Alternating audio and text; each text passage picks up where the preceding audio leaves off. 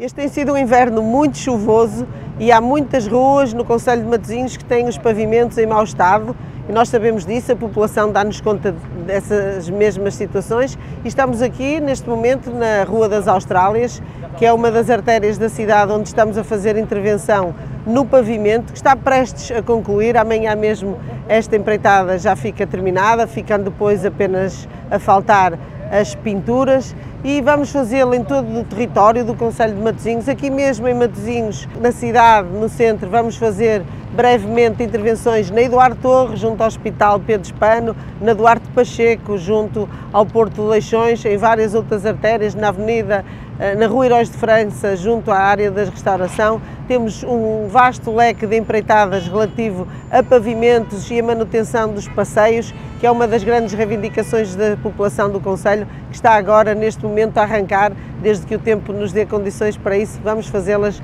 rápida e brevemente.